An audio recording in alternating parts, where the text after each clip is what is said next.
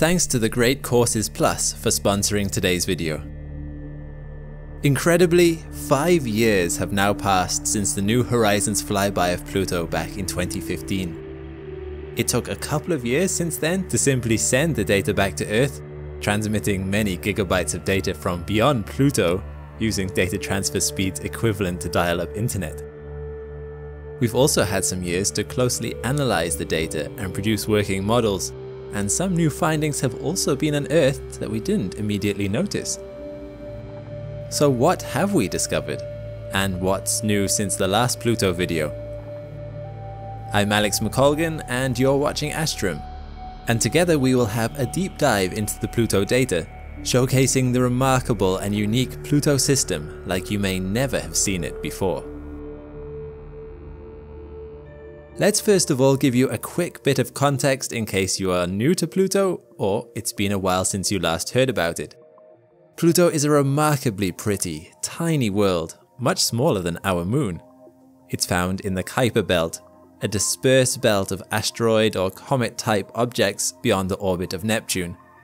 Its surface consists of predominantly nitrogen ice and small amounts of carbon monoxide, methane, and water ice. It's also covered in part by a red and orange substance known as tholins. Tholins are organic compounds that have been irradiated by cosmic rays or ultraviolet light.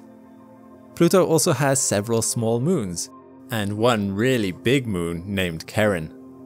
Charon is so big compared to Pluto that their center of mass, or the point in which they orbit each other, is a point in space and not within Pluto itself.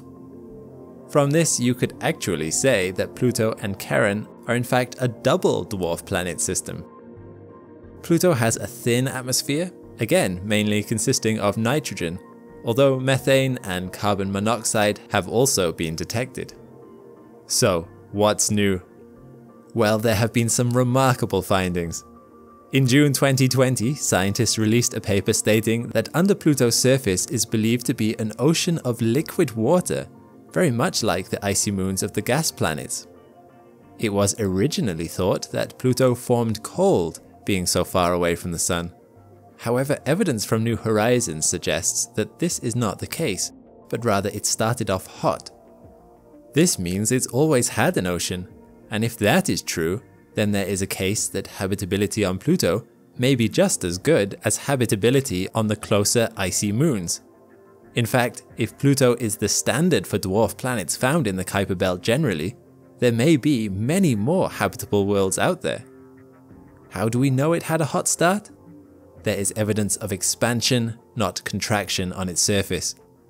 These cracks show the crust is moving apart, not folding over itself. If this is true, and Pluto had a hot start, perhaps with bombardments from other planetesimals heating it up during the early stages of the solar system, it could be that shortly after it was formed, it would have had enough thermal energy that it was once an ocean world this really puts a new perspective on how the solar system formed. Another discovery is to do with the reddish-orange substance found on Pluto's surface. Scientists suspected this substance was tholins as soon as New Horizons started sending images back, but its distribution over Pluto's surface was baffling. Why are only some areas covered?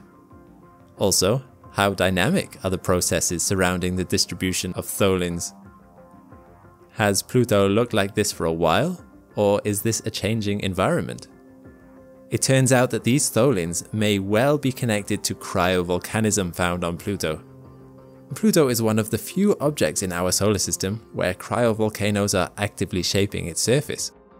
Water from either the mantle or from pockets of water trapped in the crust erupt over the surface of Pluto, creating a varied landscape. But it turns out that it's not just water found in these eruptions, but tholins are clearly mixed in too.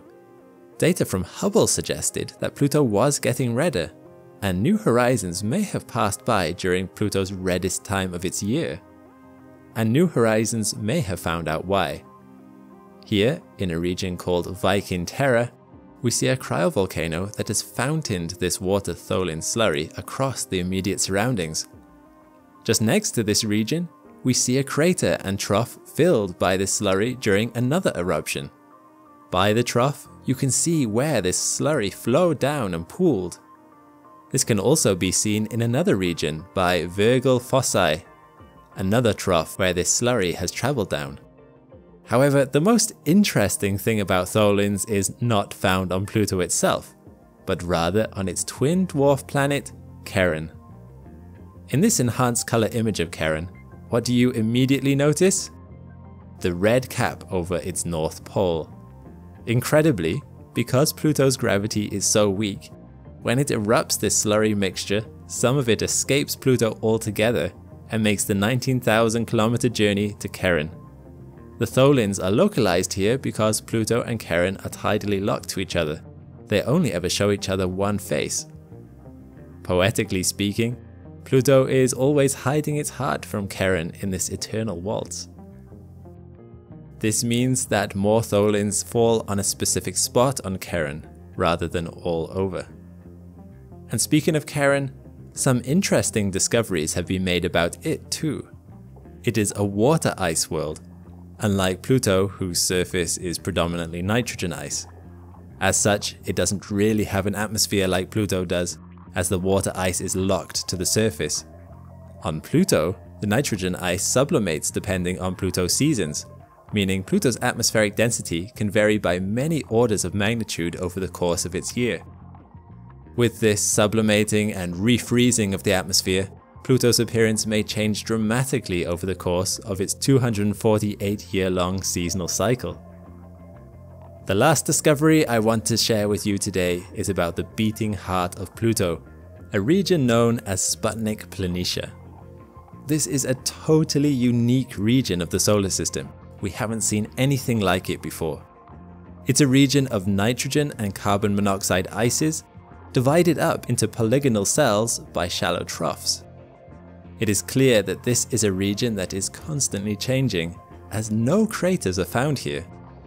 Ices sublimate and freeze here regularly, creating troughs and pits, meaning these polygons are likely to be convection cells.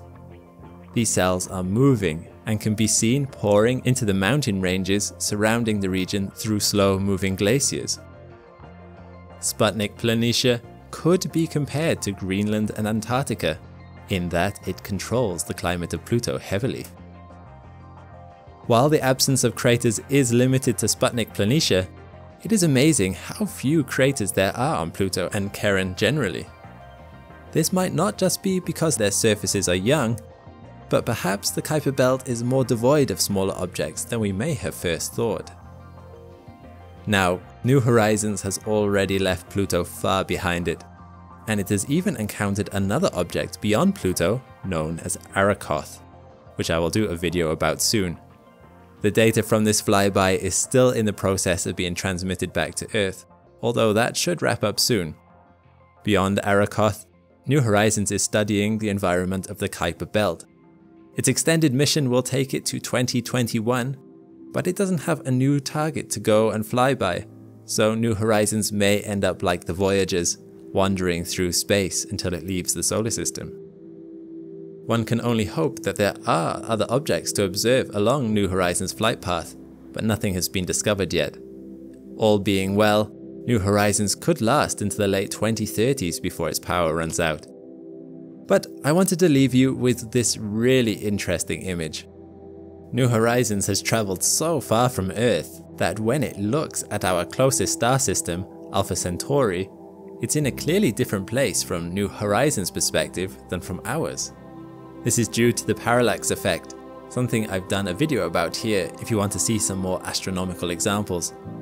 It's just mind-boggling to me to think about how far New Horizons has travelled relative to us so much so that Alpha Centauri has moved from New Horizons' perspective.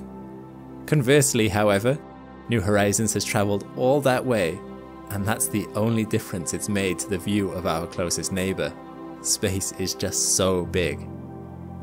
So, there we have it, a recap on all the data New Horizons sent back about Pluto. Did you enjoy learning about Pluto today? then this sponsor may be just the thing for you.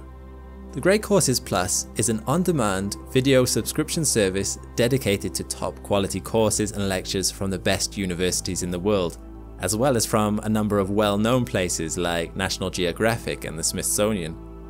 It may not surprise you to hear that when I signed up, I went straight to their space section, and I was impressed by how many topics there are that you can delve really deeply into.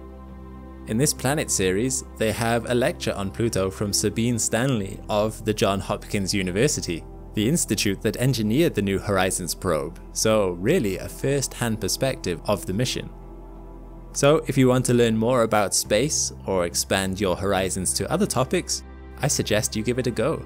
You're bound to learn something new.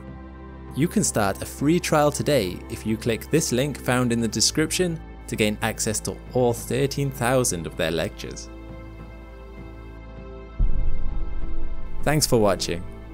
If you enjoyed this video, be sure to watch the original New Horizons mission video I did covering all the initial discoveries. Also, please like and share this video. It really helps the channel to grow and enables me to continue to make these kind of videos going forward. A big thanks to my patrons and members too.